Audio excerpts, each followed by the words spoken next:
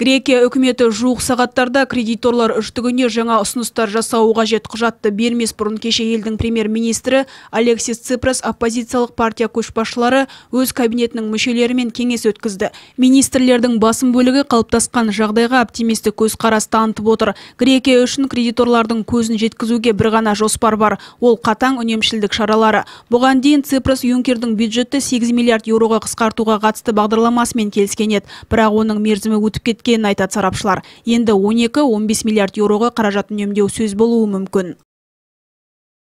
Тегеранның ядролық бағдарламасын тегіс қамтитын келісім бойынша Иран мен алтылық делдал елдер арасындағы келіссөздерге қатысты ақштың бас хатшысы Джон Керри мәлімдеме жасады. Оның сендіруінше келісімге қатысты нақты нәтиже бар, алайда жуық арада шешілуі тиіс мәселелер де қалып тұр.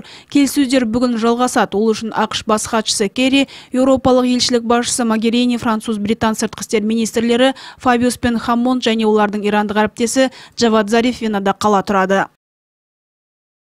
1995 жылғы қақтығыста қырылған 136 адамның мүрдесі анықталып, денелер салынған табыттар кеше Боснияның Висока қаласынан Сребреницадағы мемориалға жеткізілді.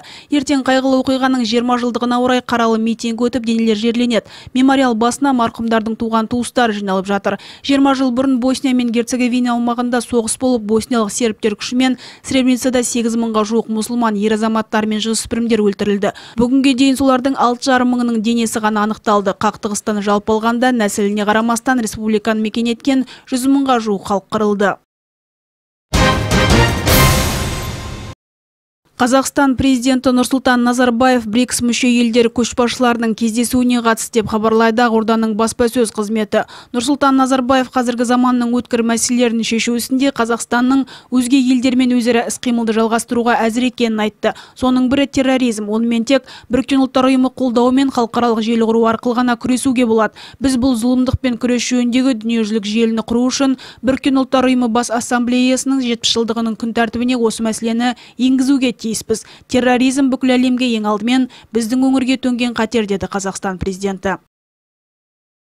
Астанада елбасымен кездесіп сәт сапар тілегін естіген қазақстандық ғарышкер Айдын Айымбетов Қазғарыш басшылығымен кездесті. Қазақстан Республикасы инвестициялар және даму министрлігі аэроғарыш комитетінің төрағасы ғарышкер Талғат Мұсабаев еліміздің қазақстандық ғарышкерді ұшыру туралы оң шешіміне байланысты Айдын Айымбетовті құттықтады. Талғат Мұсабаев, оның орынбасарлары Ерғазы Нұрғалиев, Мейірбек Молдабеков, Еркін Шаймағанбетов Айдын Айымбетовтің ғарышқа ұшуын ұйымдастыру шаралары және техникалық мәселелерді талқылады. Айдын Айымбетовті қоса алғанда үш адамдық экипаж союз тыма 18 ғарыш кемесімен байқоңырдан биыл бірінші қыркүйекте ұшады деп жоспарланған.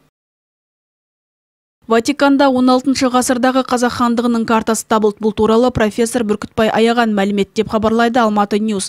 Қазақ хандығы туралы мәліметтерді зерттеп, оларды ашатын кез келді. Бүгінде әлемдік қауымдастықта жуырда табылған жаңа деректерді талқылап жатыр. Олар әлі толық зерттелмеді. Сонымен қатар қазақстандық ғалымдар Ресей, Қытай, Иран, Франция және ақш ғалымдармен бірге қазақ мемлекеттігінің өткенмен байланысты жаңа тарихи деректерді ашып жатыр. Жуырда 16 ғасырдағы қазақ хандығының картасы табылды деді Бүркітбай аяған.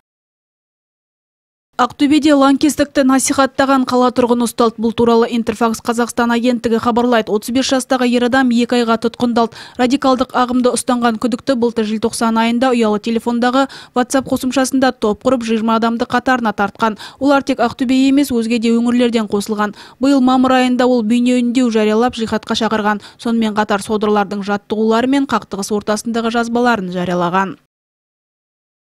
Облысымызда қант диабетімен ауыратын жүрегінде ақауы бар науқас балаларға арналған арнайы балабақша жоқ. Бақша былай тұрсын, оның ішінен ашылған топ та жоқ. Себебі бала саны жетпейді дейді мамандар. Ал биыл қала бойынша қант диабетімен ауыратын беске жуық бала бақшаға жолдама алды. Алайда олар медициналық тексеру нәтижесінен кейін еш жерге қабылданбаған прежде всего был связан с тем, что в детских общего типа, куда их направили. Оларды қабылдамаудың себебі жолдаған балабақшаларда мүгедек балаларға жағдай жасалмаған.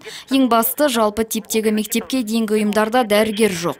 Осы мәселе қалалық білім бөлімінен бірге шешіледі. Егер науқас балалар саны 15-20-ға жетсе, топ ашу мәселесі қарастырылады Әскери техникалық мектеп ашылғалы оқу орнына сарбаздардың 8-ші легі түлеп ұшты. 40 күндік әскери дәріс алған жігіттер ант қабылдады. Бұдан соң жауынгерлерге әскери техникалық мектепте оқығандығын растайтын сертификаттар табыс етілді. Бұл құжат кейін әскери билетке ауыстырылады. Тәлімгерлер атқыш мамандығын алып шығады. Әскери іс-қимылға машықтану мектебіне оқуына, денсаулығына, отбасы жағдайына немесе басқа да себептермен сарбаз қатарына алынбай қалған жасы 22 мен 27-нің арасындағы жігіттер қабылданады. 40 күндік оқу үшін олар мемлекетке 263 мың теңге төлейді екінші дүниежүзілік соғыстың аяқталар тұсында рейхстагты оқтың астын алған нөмірі 756 атқыштар полкының екі сарбазы бірін бірі 70 жылдан кейін ғаламторда кездестірді бейне көпір арқылы бір бірімен жүздесті белгілі полковник федор зинченко басқарған полк құрамында қобда өңірінің тумасы федор бакуменко мен санкт петербурлық федор беляевтер соғысқа қатысқан.